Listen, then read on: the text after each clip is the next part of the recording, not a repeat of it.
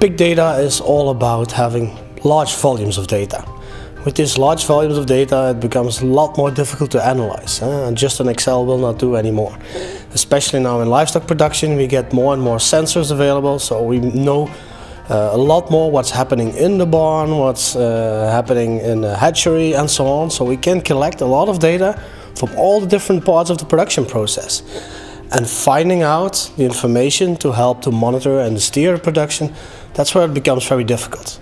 And that's where the big data technology will help us to have uh, sustainable livestock production in the future. With Porphyrio, our customers get complete grip on what is happening in all aspects of the, uh, of the production process. Meaning in the house with these live animals, which is always uh, highly complex, and link that to the product that they want to produce.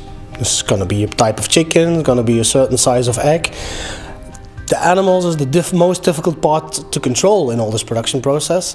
So with our systems, right, they get a better grip, they will be capable of predicting the outcome and hence optimize the complete production process.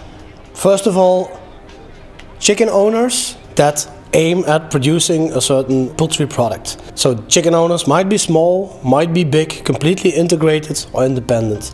But beside that, also feed mills and veterinary cabinets. They need the information that we can collect at the farms to also support with their knowledge of health and nutrition the production process.